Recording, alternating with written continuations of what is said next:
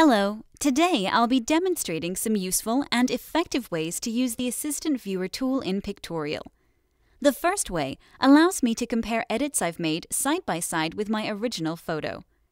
Let's start by clicking on the A-B button. From here, an empty window will appear on the right. This is where I want my original photo to be.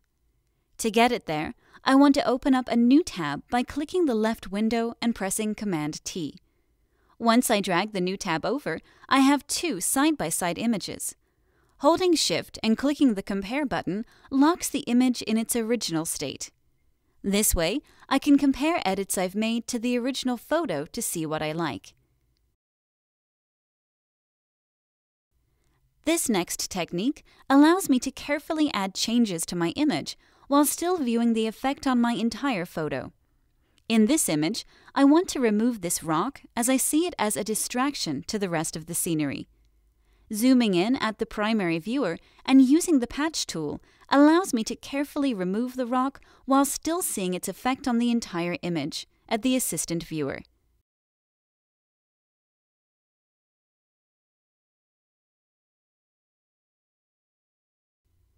This final technique will show how global adjustments affect specific parts of the image. I want to edit my portrait by making the whole image sharper. If I zoom in on the assistant viewer and apply global sharpening to both images, I can observe the level of sharpness both close up and far away. This allows me to easily choose the best option for my image.